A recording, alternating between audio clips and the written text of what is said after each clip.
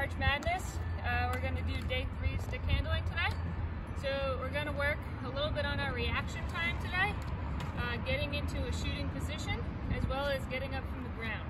So if you have a partner, you're going to have your partner call out the commands to you.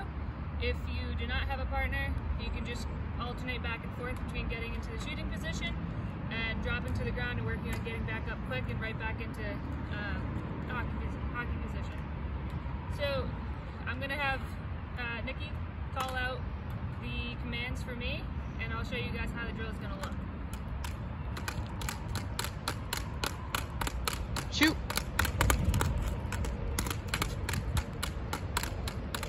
Ground.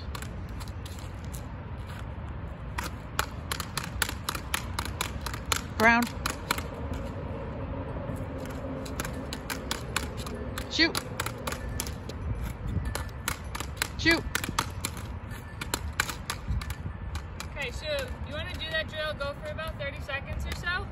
Okay, so everything with the drill, you're getting right into position on the shoot on the shooting. So as soon as you hear that word shoot or you're ready to go into that position, we're here, we're ready to go. All right, we want to be able to fire that puck, that ball to the back of the net.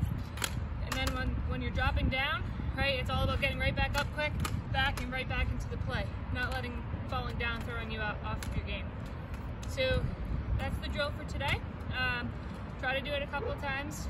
Uh, if you can get, you know, two or three times at 30 seconds, and then you can continue to increase it from there.